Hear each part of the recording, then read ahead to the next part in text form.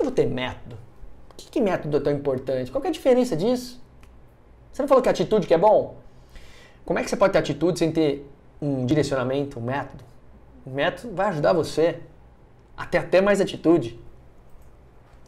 Vamos lá, pensa comigo. Quando os vendedores ingressam na empresa, ou até mesmo eles mudam de área, vê se já aconteceu isso com você.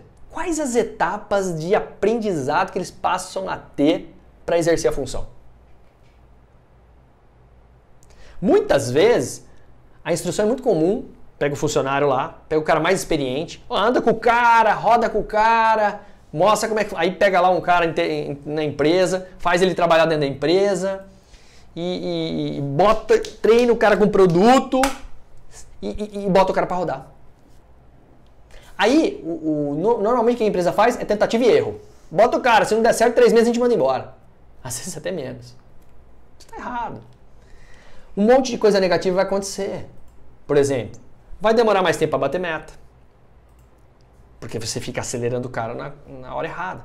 Não, não vai ter padrão. O objetivo da empresa vai ficar destoado da equipe inteira. Porque não vai ter clareza.